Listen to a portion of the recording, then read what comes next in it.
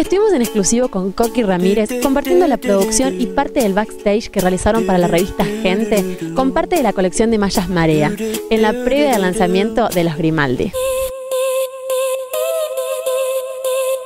Acá estamos en el backstage de Revista Gente en el campo de lencería. No tiene explicación, pero bueno, así son las producciones. Así que me voy a cambiar para el segundo. Quédense ahí.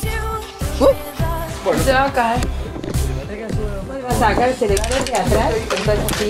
Me estoy cambiando para el segundo cambio. Che, y el sol. Mira, El sol. Está más pareja la luz, quédate tranquilo. Sí, eso es. Miren Coqui sin cirugía. Coqui divina. Ahí está Georgina, una genia. Haciendo para pronto. Sí. ¿Cómo estás filmando? ¿Qué, ¿Podés hablar? qué? ¿Qué decís? ¿Cómo? ¿Cómo te va, mi amor? ¿Hablar? Muy bien. Bueno, found ¿dónde together. Che, y eso es veredito. Me quieren hacer meter al agua y hoy hace I frío. guess we thought that's just what Mañana se termina el mundo, así do. que metiste al lado. Mañana se termina el mundo, Georgina. Vamos todas. Vamos color. Que no todas. decaiga.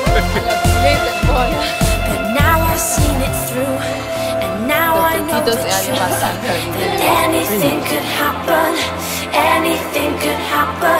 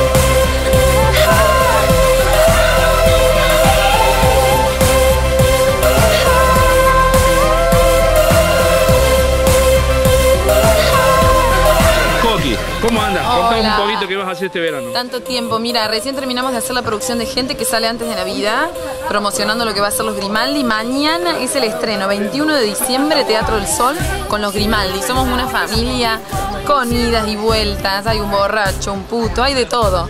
Yo vengo a ser como una enfermera medio trucha, este, así que bueno, después se descubre que no, me gusta cantar, como que hago de cuenta que estoy en Las Vegas y le canto a la gente, así que yo creo que va a estar muy bueno, yo pagaría para verla, así que espero que ustedes también. Van a pasar un rato divino, es una comedia familiar, pueden ir de todas las edades, jovencitos, grandes, chiquitos, hasta tienen para dejar a sus hijos ahí en el Teatro del Sol. Gracias a NASA por creer en mí, La verdad que es un equipo increíble.